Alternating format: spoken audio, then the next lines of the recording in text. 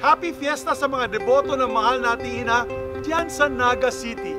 While it is sad that we cannot go out and hold the Translasyon and procession for Our Lady of Peñafrancia this year, we must remember that she is always with us, in our homes and in our hearts, and we can and must celebrate her wherever we are. Let us remember the goodness of the Blessed Lady is stronger than any virus or illness. Let us entrust ourselves to her care and celebrate her divine glory.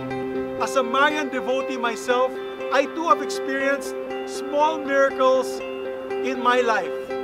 And let us continue to trust in her and let's continue to ask her for protection. Muli, happy fiesta po mula sa inyong lingkod na si Mig Subiri. Stay safe and healthy. Diyos mabalos sa Indogabos.